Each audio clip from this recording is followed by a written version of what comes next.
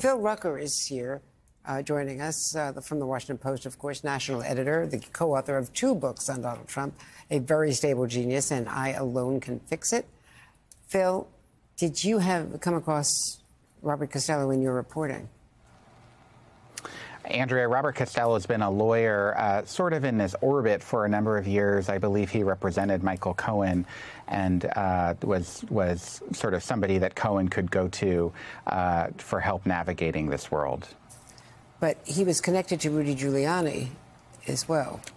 That's right. He also represented uh, Rudy Giuliani, and, and in fact, uh, in some instances, I believe, uh, you know, spoke on Mr. Giuliani's behalf. Phil, I'm just curious in terms of the politics of this case. I know we're, we're getting into the weeds on testimony and who they're calling and the nitty gritty on certain phone calls and when they were happening and when they weren't happening, what might have been discussed. The larger picture, though, and, and is not whether this case is going to turn out to be a conviction for Donald Trump or, or not but what it might possibly mean for the election. How, what is your sense of whether this is landing or, or people are or whether people are paying attention at all?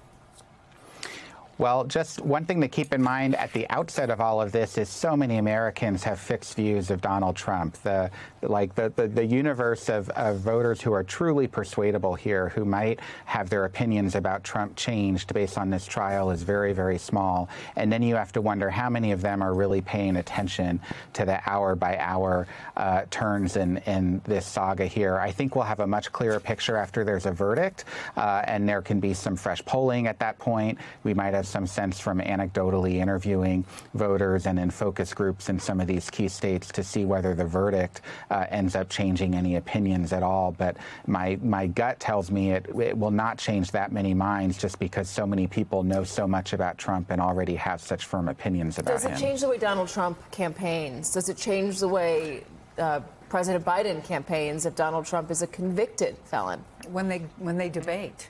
Yeah. yeah, certainly.